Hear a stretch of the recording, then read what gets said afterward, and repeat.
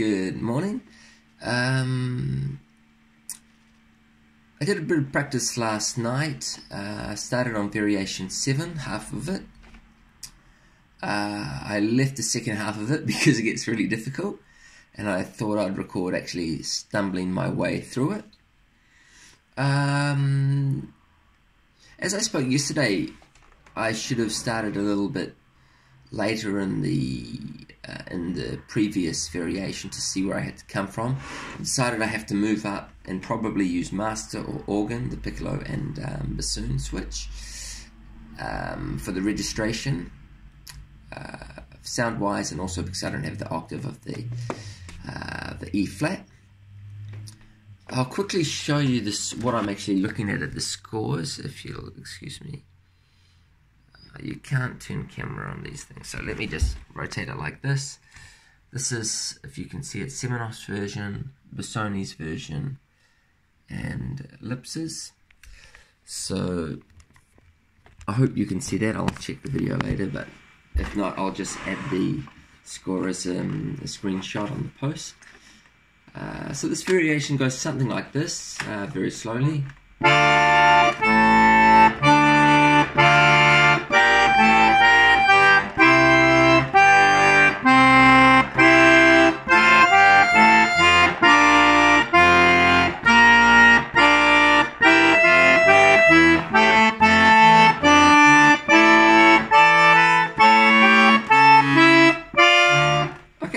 That's kind of where I practice to, leaving the little parts afterwards.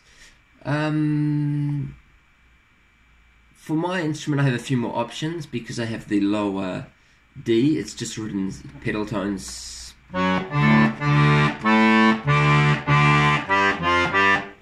So this kind of thing I have.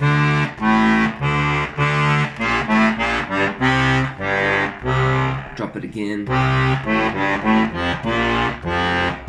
there I don't have it, so I just do it as written. Here, I'm still not decided if I should play the written octaves or go a little bit lower.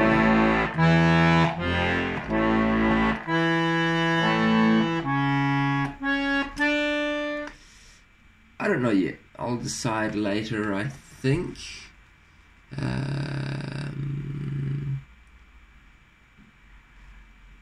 I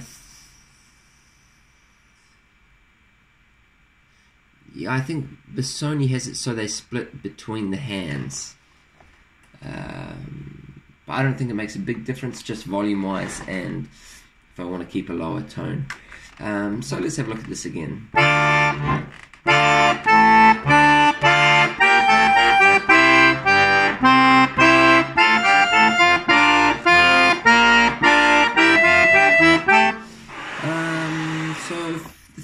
Obviously is this descending.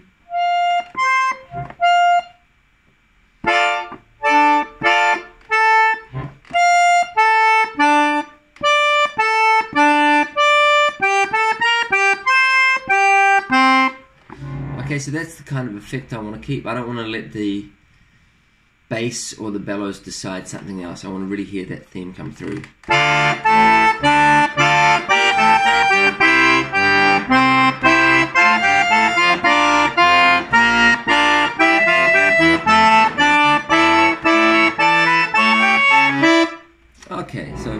A few wrong notes.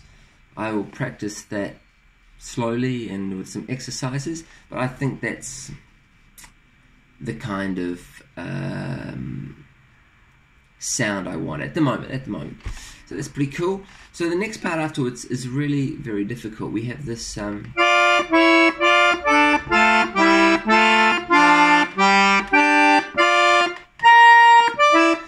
So I'll just put one some violin a little bit higher so you can see what the fingers are doing.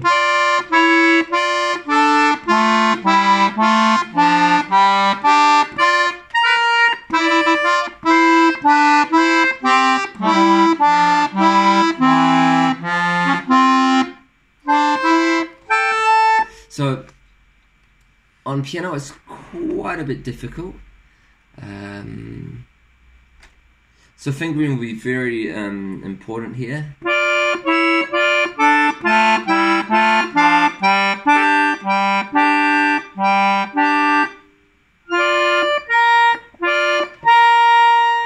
So this first, I think pretty much once I figure out how to play one bar or the other bars because very similar uh, pattern wise. Obviously the notes are different.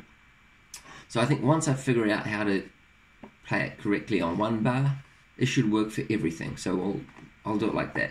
So if we have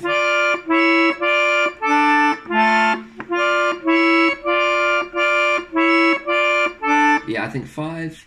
I'm normally thinking of the high, um, high voice rather than the lower voice when I'm thinking of fingering.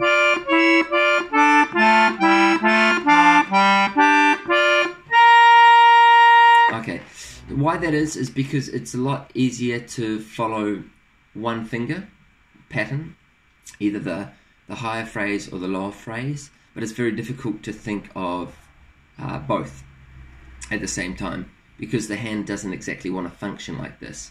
But a hand, two or three move, uh, one movement uh, up or down is very easy. So we kind of trick the brain not to think of chords because then I'm doing big movements like this and my arm is trying to compensate, which is pretty bad. Um, I'd rather make something simpler.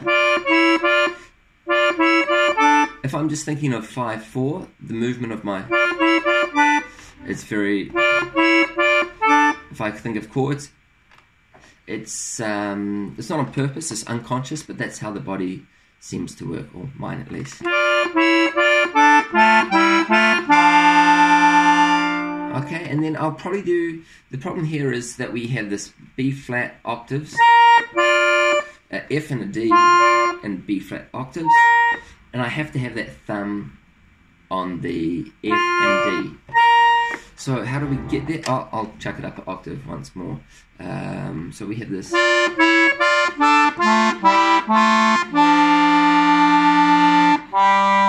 I think thumb again, thumb, thumb. I'm searching for the next two. I don't know how to get there just yet.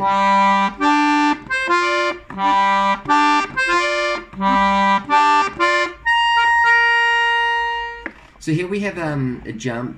We have a chord, a G, D and a G, F and a D.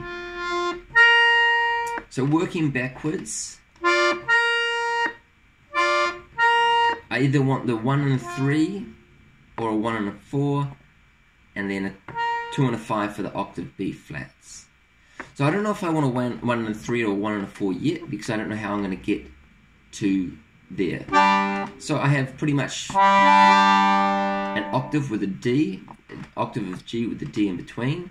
And because I'm starting thumb thumb, I have the freedom to choose kind of which notes I want to use. So the trick is how do I get from there to there, to that second position of F and D? Do I want to go to a 1 4? Or 1 3? The problem is if it's a 1 3, the 4 by default has to be extended. So as I'm doing the jump,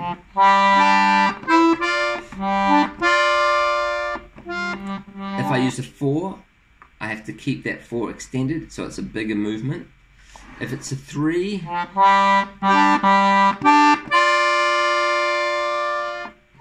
kind of works.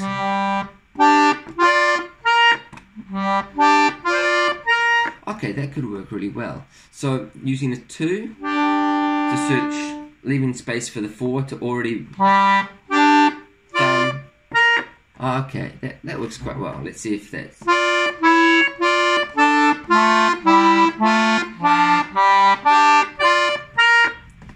Okay, solution. That's pretty cool. So, the fingering was decided by the last two notes. They limited me. That octave on the B flat uh, I have to use the second because the next notes come back down. So I couldn't use a thumb because then I had a huge jump. Um, possible, but stressful and difficult to do. So working backwards, two, five, four makes that 5 a little bit harder to stretch, but it means that I have the 2 ready and come back for the 4.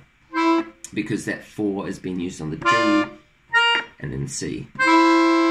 So that means I'm rotating that, that movement on the fourth finger, so that's good. Coming back down, we used a 4, so I could use the 3 there and stretch to that 4, and then the thumb thumb. So, so that one worked. So now I will practice by myself to see if the other that fingering or that way of fingering will work for the other variations.